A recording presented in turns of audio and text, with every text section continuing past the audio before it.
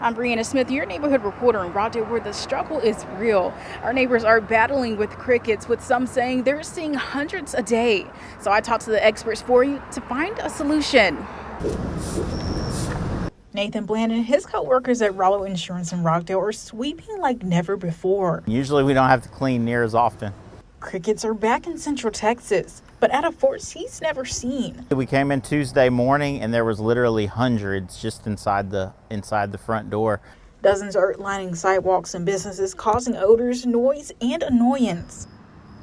So I talked to Texas A&M entomology professor Ho-Jun Song to see why. Well, I think that scientists are um, thinking that it's, it's, it's a result of interaction of several environmental conditions. Like a mild winter and wet summer. And those conditions provided optimal situation for, for these cricket population to grow rapidly. And with the lack of natural predators, then you have a massive growth in population. But one way to prevent crickets from getting in your homes and businesses, these insects are naturally attracted to light.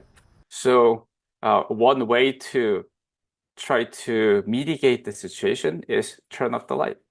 And he doesn't advise squishing them since they can stain surfaces or using harmful pesticides. And you can use your, your uh, broomstick to just clean those things out.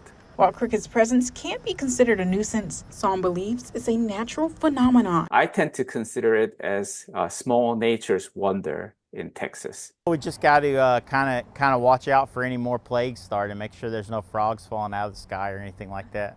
Experts say this cricket problem will probably continue for the next one to two weeks until this population dies off.